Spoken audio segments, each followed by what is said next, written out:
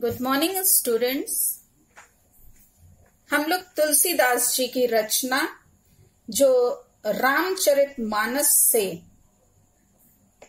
ली गई है, भरत महिमा शीर्षक के अंतर्गत उसका अध्ययन करेंगे बच्चों। चलत पयादे खात फल, पिता दीन तज राजू जात मनावन रघुबर ही भरत सरिस को आजू। इसका सबसे पहले हम बच्चों आप लोगों को संदर्भ बता दें। क्या लिखेंगे आप लोग? कि प्रस्तुत पद्यांश महाकवि गोस्वामी तुलसीदास द्वारा रचित महाकाव्य श्री रामचरित मानस से हमारी हिंदी की पाठ्य पुस्तक के काव्य भाग में संग्रहित भरत महिमा शीर्षक से अवतरित है। इसमें बच्चों, प्रसंग में आप लिखेंगे, इसमें भरत जी, छोटे भाई शत्रुघ्न और अयोध्या वासियों के साथ रामचंद्र जी को वन से वापस लौटा कर ले आने के लिए पैदल ही चले जा रहे हैं। आप सब कथा जानते हैं कि राम जी को चौदह वर्ष का वनवास हुआ था। तो और भरत को राजगद्दी प्राप्त हुई थी। लेकिन उस राजगद्दी को जो राजा दशरथ द्वारा प्रदान की गई थी, उसको वो छोड़ करके और कहा जा रहे हैं? अपने भाई से मिलने के लिए। तो उसी का इसमें वर्णन है कि वो पैदल ही चले जा रहे हैं। मार्ग की जो वनवासनी वन में रहने वाली जो स्त्रियाँ हैं, जब उनको देखती हैं तो वे अपने भाग्य को सराहने लगती। मतलब वो बहुत अपने भाग्य पर प्रसन्न होती कि उनका भाग्य कैसा है? अच्छा है। जिसके कारण उनको क्या हुआ है? भरत जैसे पवित्र और पावन भाई के दर्शन प्राप्त हुए हैं। तो उसी का इसमें तुलसीदास जी ने बड़ा ही मनोहारी वर्णन किया है। देखिए, चलत पयादे खात फल। चलत पयादे। पयादे मतलब पैदल ही। जो ये है यहाँ पे जो वनवासनी वन में निवास करने वाली जो स्त्रियाँ हैं, वो आपस में बातचीत कर रही हैं और कह रही हैं कि, भरत जी जो हैं, वो क्या कर रहे हैं? अपने पिता द्वारा लिखा है ना, पिता दीन तजी राजू। पिता द्वारा दिए गए राज्य का त्याग करके वो पैदल ही कहा जा रहे हैं। खात फल मतलब कि कंद मूल जो फल है कंद मूल फल खाते हुए श्री रामचंद्र जी को लिखा है, जात मनावर रघुवरी। रघुवर रामचंद्र जी के लिए प्रयोग हुआ है। तो रामचंद्र जी को मनाने के लिए वो जा रहे हैं। इसका बहुत सुंदर वर्णन है। उन भरत जी को लिखा है, भरत सरिस को आजू। भरत के समान, यहाँ पे कहा जा रहा है, सरस, यानी भरत समान। को, कौन है? आजू मतलब आज। उन्हें यहाँ पे ये वनवासनी जो स्त्रियाँ हैं, वो कह रही हैं कि भरत के समान आज कौन है? अर्थात उनके समान जो है, त्यागी और अनुरागी, यानी अपने भाइयों से प्रेम करने वाले और विरागी मतलब कि वो उनको, इस बात का लालच नहीं था कि उनको राजपाट मिला। वो जान रहे हैं कि पहला अधिकार किसका है? राम जी का, बड़े भाई का है। तो वो उसको त्याग करने वाले विरागी हैं और त्याग करके ये भगवान के भक्त हैं मतलब राम जी के वो भक्त हैं। और कौन हो सकता है यहाँ पे? ये कह रहे मतलब उनके समान और कोई हो ही नहीं सकता है। भयप भक्ति। भयप मतलब भातृत्व भक्ति भरत आचरणों। भरत के आ, का जो आचरण है वो कैसा है? यहाँ पे स्त्रियाँ कहती हैं कि भरत जी का भातृत्व भक्ति जो है भक्ति से भरपूर जो आचरण है, वो बहुत ही पवित्र है, पावन है। कहत सुनत दुख दूषण हरणु उसको कहने, सुनने से व्यक्ति के क्या होते हैं? दुख और दूषण यानी दोष, वो सब क्या हो जाते हैं? हरण, हर हर लिए जाते मतलब कि वो दूर हो जाते हैं। जो उनकी कथा को सुनता है, उनके उस आचरण को, वो उसको कहने और सुनने से ही दुख और दोष क्या हो जाते हैं? दूर हो जाते हैं। जो किछु कहब, थोर सखी सोई, राम बंधु अस काहे ना होई। यहाँ पे कह रहे जो किछु कहब, जो कुछ भी उनके बारे में कहा जाए, है? जितना भी कहा जाए वो सब क्या है? थोड़ सखी, वो हे सखी, वो थोड़ा है। थोड़ा ही है, वो अधिक नहीं है। राम बंधु, है, यहाँ पे कह रहे श्री राम के जो भाई, भरत के जैसा भाई, और कोई अन्य कैसे हो सकता है? अस काहे ना हो या? तो ये क्या कह रहे हैं कि भरत के जैसा भाई भला कोई अन्य कैसे हो सकता? अर्थात उनके जैसा इन संसार में और कोई नहीं हो सकता है। हम सब सानुज भरत ही देखे। सा अनुज। अनुज यानी छोटा भाई। भरत के छोटा भाई कौन है? शत्रुधन। यहाँ पे वर्णन है, भयन धन्य जुबती जन लेखे। यहाँ पे जो स्त्रियाँ हैं वो छोटे भाई शत्रुधन सहित भरत जी को देख करके वो अपने आप को धन्य वो मानती हैं, वो मान लेती वो क्या कह रही है यहाँ पे कि छोटे भाई शत्रुधन सहित भरत जी को देखकर हम सब सौभाग्यशाली स्त्रियों में सम्मिलित हो गई हैं। मतलब उनके दर्शन हो, होने मात्र से ही वो अपने आप को सौभाग्यशाली स्त्रियों में सम्मिलित मान रही हैं। वो कह रही हैं कि उनके दर्शन करके स्वयं को उन्होंने क्या कर लिया है? धन्य कर लिया है। सुनी गुनी देखी दशा पछताई कैकई जननी जोगु सुति नाही। हाँ सुनी गुनी देखी दशा पछताई। यहाँ पे कह रहे हैं कि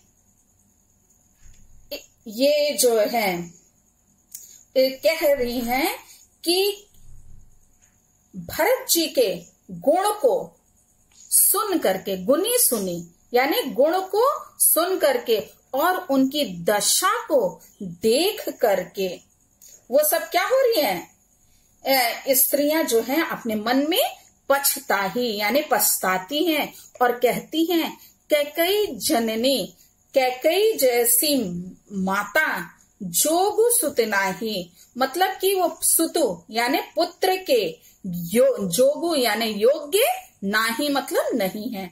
वो भरत जी के गुण को सुनकर और उनकी दशा देखकर वे सब स्त्रियाँ जो हैं वो अपने मन में पछताती हैं और कहती हैं कि कैकई जैसी जो माता है वो, वो भरत जी जैसे पुत्र के योग्य नहीं है।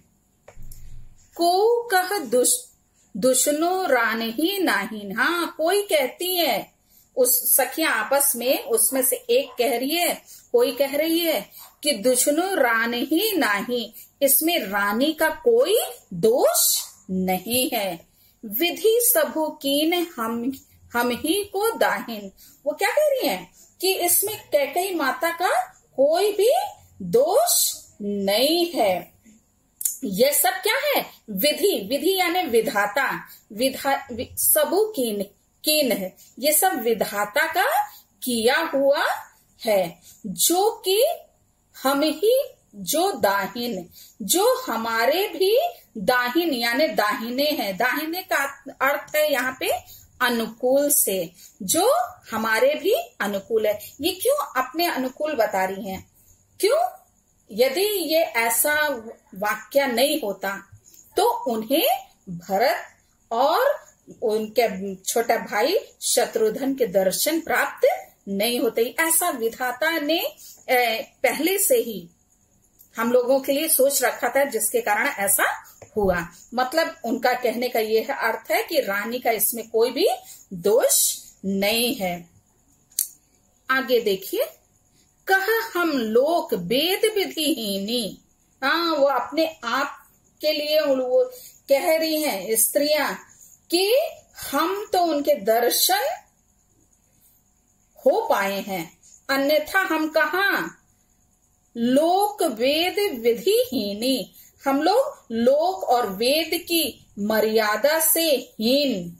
और क्या है? लघु कुल। मतलब कि छोटे कुल वाली, निम्न कुल वाली, करतूती यानी कर्म से मलिनी यानी मलिन और तीय मतलब स्त्रियाँ। हैं? वो कह रही है, अपने आप को बता रही है कि हम लोग कैसी हैं? तुच्छ स्त्रियाँ छोटे कुल की हैं। और हमारे करतूत, यानी हमारे कर्म कैसे हैं? मलिन हैं। लेकिन ये इतना कुछ होने पर भी, है? उन्हें भरत जी के दर्शन प्राप्त हुए हैं तो ये सब ईश्वर की कृपा के ही कारण होने पाया है। बस ही कुदेश, कुगांव, कुबामा। आगे कह रही है कि वन्य प्रांत के बुरे गाँव में, कुदेश यानी बुरे गाँव में ये क्या हो रही है? रहने वाली निवास करती हैं। कुगांव, कुबामा। यहाँ पे वो बता रही है कि कुबामा मतलब नीच स्त्रियाँ। हम लोग कैसी हैं? कि नीच स्त्रियाँ हैं। कहा की कुगांव, यानी कि उनका गाँव भी कैसा है? बुरे गाँव की है। और कुदेश, यानी वो बुरे देश की अर्थात वन्य प्रांत के बुरे गाँव की रहने वाली ये तुच्छ स्त्रियाँ हैं। कहा यह दर, दरसु पुण्य परिणामा। और कहा यह दर्शन जो भरत जी का जो दर्शन है वो पुण्यों का मतलब अच्छे कर्मों का परिणाम स्वरूप ये प्राप्त उन्हें ये पावन दर्शन प्राप्त हुए हैं। अस्य आनंदो अचि रिजु प्रति ग्रामा। आगे कह रही है कि मानो क्या हुआ है यहाँ पे? ये बता रही है कि आनंद और अचरज प्रति ग्रामा, प्रत्येक गाँव में हो रहा है। यहाँ तुलसीदास जी क्या कह रहे हैं? बता रहे हैं कि मानो लिखा है जनु। जनु मतलब मानो। मरुभूमि, कल्प तरु जामा। मानो रेगिस्तान में, मरुभूमि में मतलब रेगिस्तान में कल्प तरु उग आया हो। यहाँ पे ये बताना चाह रहे हैं कि ऐसा ही आनंद, ऐसा ही आनंद, अस मतलब ऐसा ऐसा ही आनंद और अचरज, यानी आश्चर्य, प्रति ग्रामा, उस वन्य प्रांत के प्रत्येक गाँव में हो रहा है। मानो, क्या है? जनु मतलब मानो।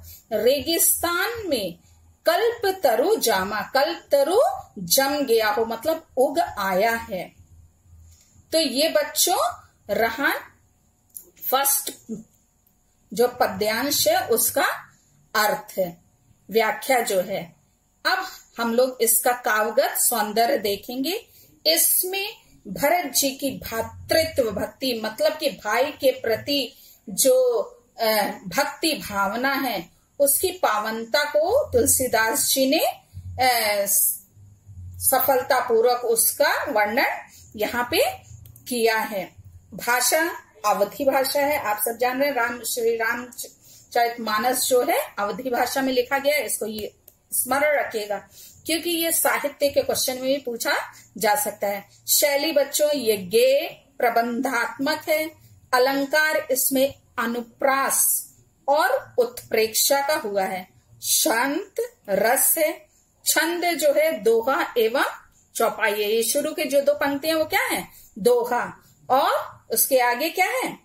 चौपाई है बच्चों। तो ये फ़र्स्ट पैराग्रा की व्याख्या हुई। अब हम लोग अगले दोहे का अध्ययन करेंगे।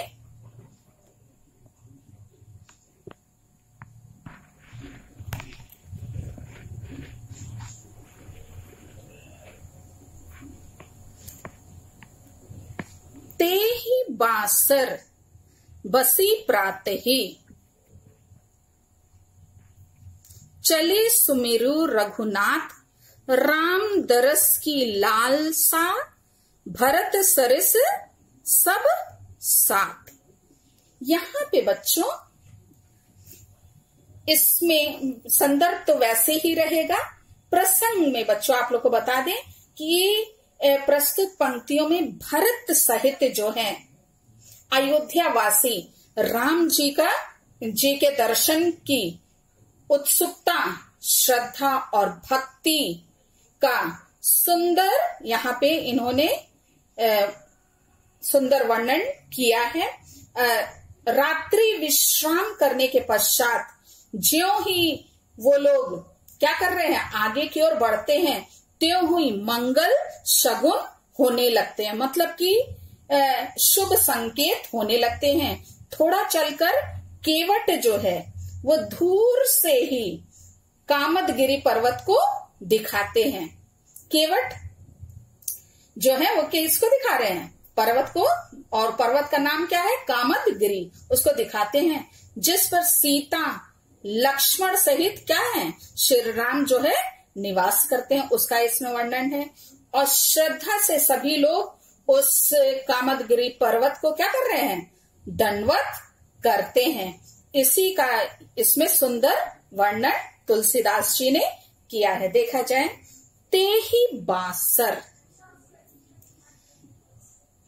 बसी प्रात ही चले सुमेरु रघुनाथ। उस दिन, बसी बसी मतलब ठहर कर। उस दिन वही ठहर कर, प्रातः ही। चूँकि रात्रि हो गया था ना तो रात, चलते चलते रात्रि हो गई तो वहाँ पे वो लोग ठहर गए। और फिर जब प्रातः काल हुआ है तो प्रातः काल ही चले सुमेरु सुमेरु, सुमेरी मतलब स्मरण करके, किसका? रघुनाथ, यानी रामचंद्र जी का स्मरण करके कौन कौन चल रहा है? भरत जी आगे की ओर चले और पीछे पीछे अयोध्या वासी हैं। राम दरस की लालसा, भरत सरिस सम साथ। हाँ उनके साथ सभी लोगों में राम के दर्शन की क्या थी? लालसा थी। मतलब कि उत्कट इच्छा, लालसा लगी है। भरत सरिस सब साथ। वो सब भरत जी के साथ ही सब दर्शन के लिए जा रहे हैं। इसलिए वे शीघ्र ही श्री राम के समीप वो पहुँचना चाह रहे हैं। मंगल सगुन हो ही सब काहू। हाँ सब लोगों को मंगल शगुन होने लगे हैं। फरक ही सुखद, बिलोचन बाहु, और पुरुषों के जो है, फड़कने लगे हैं। क्या चीज़? बिलोचन बिलोचन मतलब होता है नेत्र और बाहु मतलब भुजाएँ। पुरुषों के दाएँ नेत्र और स्त्रियों के बाएँ नेत्र। कहते हैं दाहिना जो फड़कता पुरुषों का तो क्या होता है? शुभ कुछ होता है, ऐसा माना जाता है। और स्त्रियों का जब बाया फड़कता है तो वो शुभ होता है। तो यहाँ पे लिखा है, फरक ही सुखद विलोचन बाहु। मतलब नेत्र और बाहु फड़कने लगते हैं। किसके? पुरुष और पुरुषों और स्त्रियों के। पुरुषों के दाएँ नेत्र और भुजाएँ और स्त्रियों के बाएँ नेत्र और भुजाएँ फड़कने लगती हैं। भरत भरत ही सहित समाज उछाहू। उछाहू मतलब उत्साह। भरत के साथ जितने समाज, यानी जितने भी अयोध्या वासी हैं, उनमें क्या है? उत्साह है। भरत राम जी से मिलने का। ठीक है, अपूर्व उत्साह है। मिल ही राम हो, मिट ही दुख दाहू। हाँ कि राम जी से मिल करके उनके दुख, उन सबके दुख क्या हो जाएँगे? दूर हो जाएँगे। करत मनोरथ, जस जिए जाके। हाँ वो अपने अपने मन में वैसे ही मनोरथ, यानी कामना कर रहा है। जिसकी क्या है? जैसी, जस जिए जाके। जिसके हृदय में जिए मतलब हृदय। जिसके हृदय में जैसी भावना है, वह वैसी ही कामना कर रहा है। मतलब कि सब के मन में हृदय में विभिन्न प्रकार की भावनाएँ उठ रही हैं और वैसे ही वो क्या कर रहा है? इच्छा कर रहा है, कामना कर रहा है, मनोरथ कर रहा है। जाही स्नेह, सुरा सब छाके। हाँ और सब राम जी के प्रेम से, प्रेम की मदरा का पान करके, वो क्या है? छक करके पान करे हैं। ठीक है, लिखा है सब छाके। मतलब कि श्री राम के प्रेम की मदरा का इन्होंने छक करके, पान करके मतवाले होकर वो क्या हो रहे हैं? चले जा रहे हैं राम जी से मिलने के लिए। शिथिल अंग हाँ अब जल्दी जल्दी जा रहे हैं, जिसके कारण अंग जो है, उनके क्या हो गए हैं? शिथिल पड़ गए हैं। उनके अंग क्या हो गए हैं? शिथिल पड़ गए हैं। पग मग डगी डोलही, और जिसके कारण उन, मार्ग में उनके पैर जो हैं वो इधर उधर पढ़ रहे हैं। बिहवल वचन प्रेम बस बोलही, और सब विह्वलतावश, विह्वल होकर केवल प्रेम पूर्ण प्रेम मतलब प्रेम प्रेम पूर्ण ही वचन को बोल रहे हैं। प्रेम के वशीभूत होकर के कैसे वचन बोल रहे हैं? प्रेम पूर्ण वो वचन बोल रहे हैं। राम सखाते ही समय देखावा। सैल सिरोमणि सहज सुहावा। राम सखा, राम के जो मित्र हैं। राम के मित्र कौन है? निषाद राज। उन्हें वो क्या है?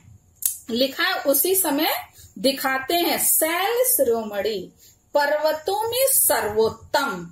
पर्वत, ठीक है? पर्वतों में जो सर्वोत्तम है उस पर्वत को अर्थार्थ किसको? अभी हमने आप लोगों को बताया था, कामदगिरी पर्वत को। वो लोग क्या कहते हैं? सहज सुहावा। सुहावा। मतलब कि ये वहाँ पे जो है, निषाद राज जो है, उन्हें पर्वतों में सर्वोत्तम जो है, स्वाभाविक रूप से अत्यंत जो मनोरम है। कैसे है? सहज सहज सुहावा मतलब स्वाभाविक रूप से जो अत्यंत मनोहर है, उस कामद पर्वत को दिखाते हैं। जासु समीप, सरित पर तीरा, सिए समेत बस ही दो बीरा वीर, दो दो यानी दो दो वीर जो है सीता सहित, जहाँ पे वो बस ही मतलब निवास कर रहे हैं। जासु समीप सरित पय तीरा।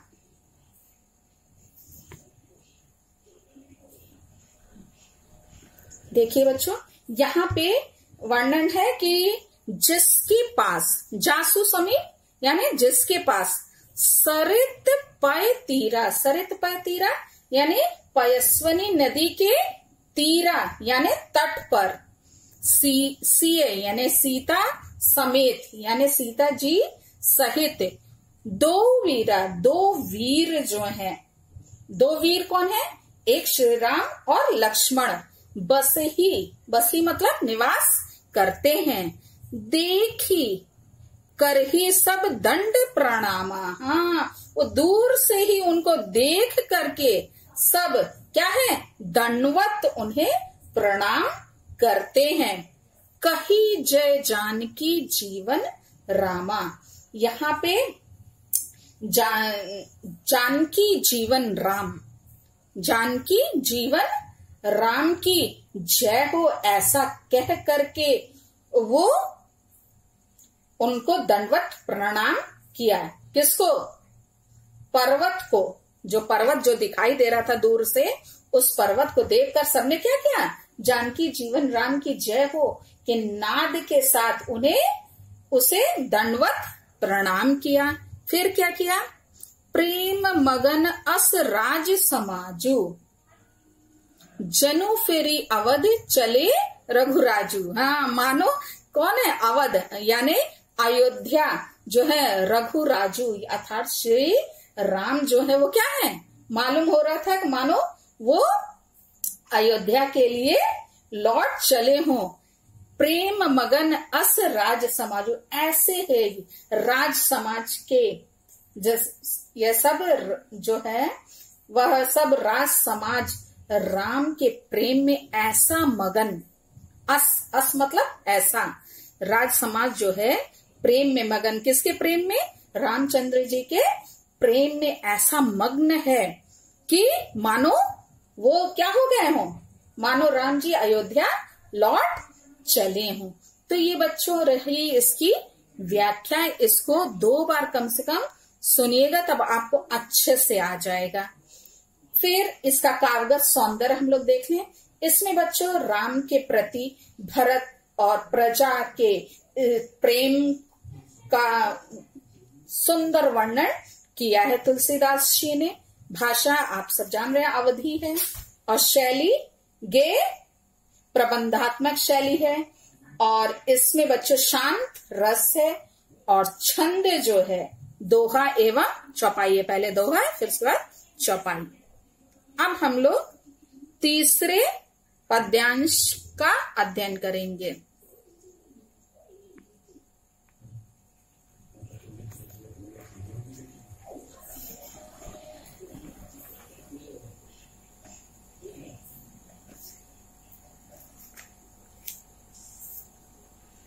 भरत प्रेम ते ही समय जस, तस कही सकल, सकई न शेषु कभी अगम जिमि ब्रह्म सुखु अहमम मलिन जनेशु।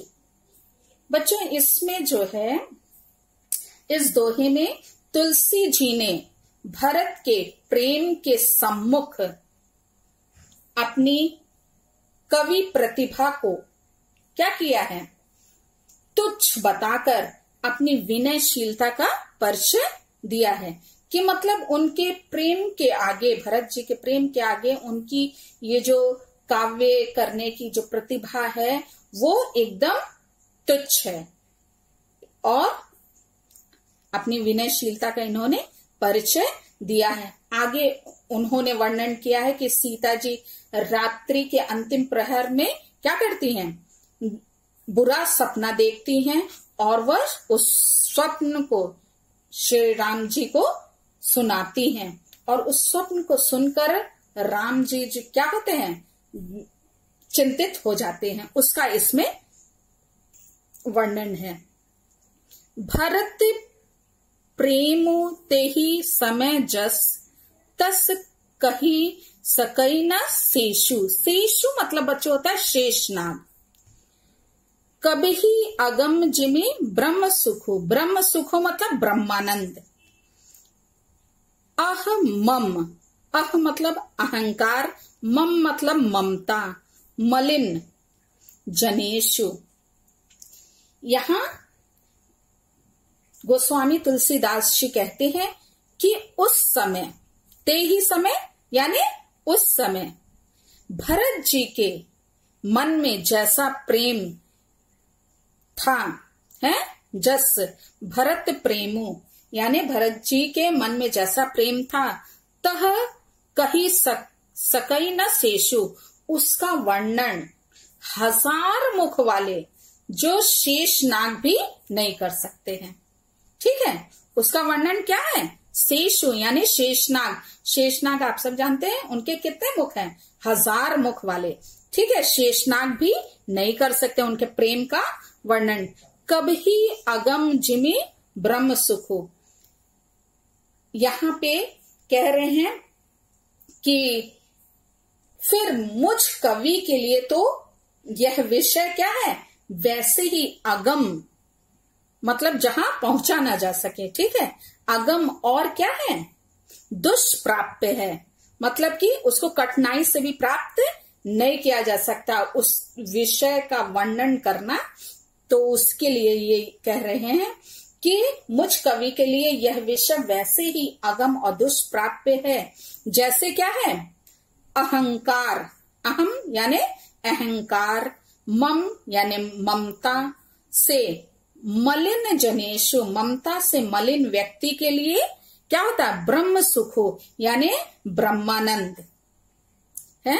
ब्रह्मानंद की प्राप्ति, जैसे कोई अहंकारी व्यक्ति हो, और जो ममता, यानी मोह माया से मलिन जो है व्यक्ति है, वो जैसे ब्रह्मानंद को प्राप्त नहीं कर सकता है, वैसे ही फंसा हुआ व्यक्ति जो है ईश्वर का साक्षात्कार नहीं कर सकता। उसी प्रकार मैं भी भरत जी के उस संपूर्ण गुणों का, संपूर्ण प्रेम का वर्णन नहीं कर सकता। इसको इसमें इन्होंने बताने का प्रयास किया है।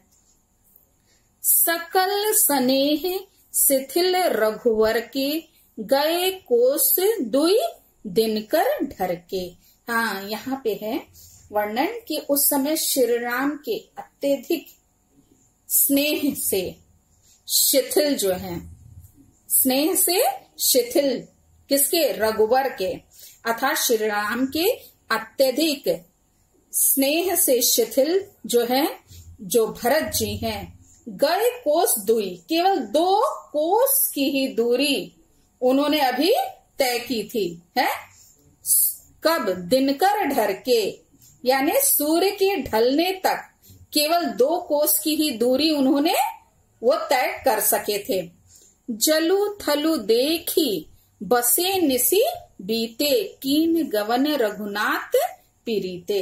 यहाँ आगे वर्णन है कि उन्होंने क्या किया? जल और थल, यानी जल और स्थल को देखी, यानी उसकी समुचित उपलब्धता को देखकर निसी बीते।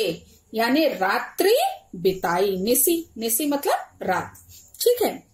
जल और थल की समुचित उपलब्धता को देख करके उन्होंने क्या किया? रात बिताई, कीन गवन रघुनाथ पीरीते और फिर श्री राम, रघुनाथ यानी श्री राम से मिलने के लिए क्या किया? प्रस्थान किया। पहले वो क्या करते हैं? रात को बिताते हैं वहाँ पे और फिर राम से मिलने के लिए वो प्रस्थान उन्होंने कर दिया। उहा राम जननी अवशेषा।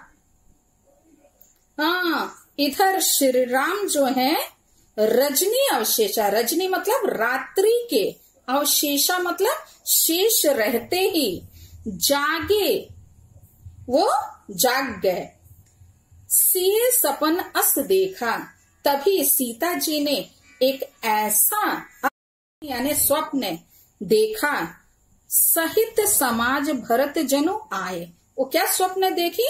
कि समाज सहित मानो भरत जी क्या है? समाज सहित आए हुए हैं। मानो, जनु मतलब मानो। मानो भरत जी क्या है? यहाँ पर समाज सहित आए हुए हैं। नाथ वियोग ताप तन ताए नाथ।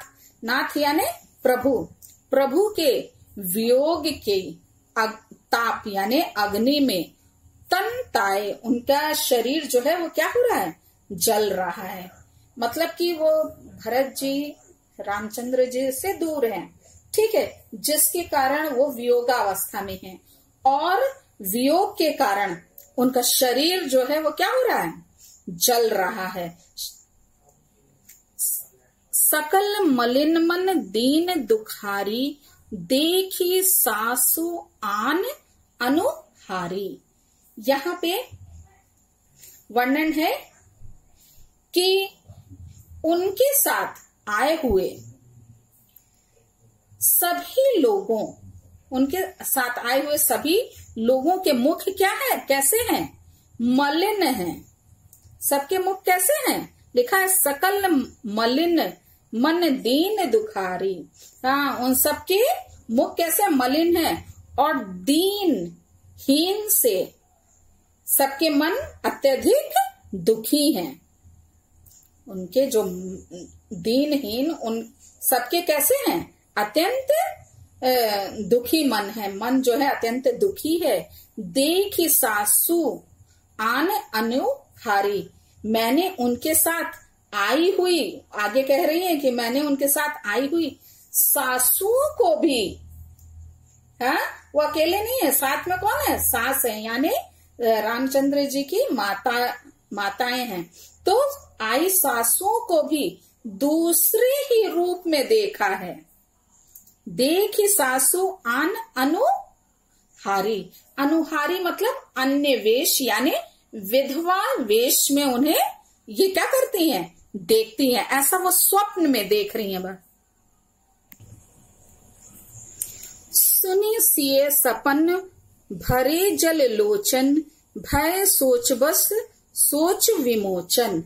हाँ उनके स्वप्न को सुन करके क्या होता है?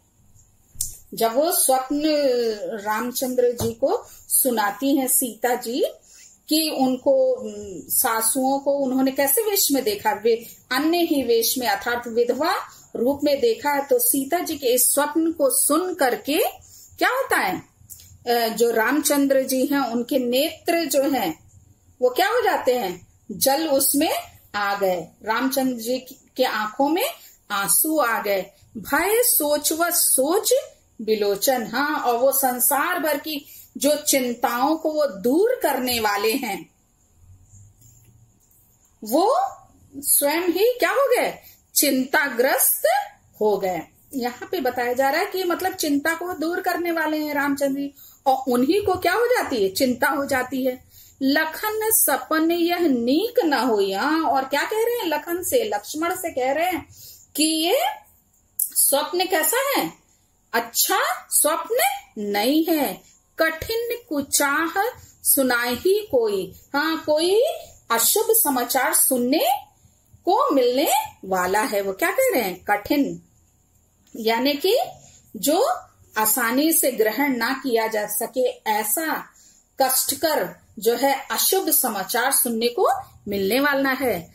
अस कही बंधु समेत समेत नहाने पूजी पुरारी साधु सम्माने हाँ उसके बाद वो क्या करते हैं? ये ऐसा कहने के बाद लक्ष्मण से, वो ऐसा कह के बंधु समेत मतलब कि वो लक्ष्मण सहित अपने भाई के साथ स्नान करके, समेत नहाने मतलब स्नान करके पूज पुरारी साधु सम्मान्य वो शिव जी की पूजा करने के उपरांत साधु संतों की वंदना करके उनका सम्मान किया। किसका? यह कहकर श्री राम ने क्या किया? भाई लक्ष्मण सहित स्नान करके शिव की पूजा करने के उपरांत साधु संतों की वंदना करके उनका क्या किया? सम्मान किया। इसमें बच्चों ये आपका अवगत सौंदर्य लिखेंगे कि पौराणिक मान्यता है, पुराणों में ऐसा बताया गया है कि जो शेष नाग है, उसके कितने? हज़ार मुख हैं। किंतु वे भी अब भरत जी के प्रेम का वर्णन कर पाने में क्या है? अपने आप को असमर्थ पाते हैं। यहाँ पे इन्होंने भरत जी के प्रेम का बहुत सुंदर वर्णन क्या, ये भी आप लिख सकते हैं। भाषा लिखेगा अवधि है, दोहा और चौपाई छंद है। अलंकार में आप उपमा और अनुप्रास अलंकार लिखेगा और भाषा जो है अवधि है। ठीक है बच्चों, इसकी व्याख्या कम से कम दो बार आप सुनिएगा ताकि आपको अच्छे से आ जाए। ठीक है, इससे छोटे छोटे प्रश्न आते हैं। वो आप जब व्याख्या आपको आएगी तो आप उस प्रश्न का भी उत्तर दे सकेंगे। Thank you.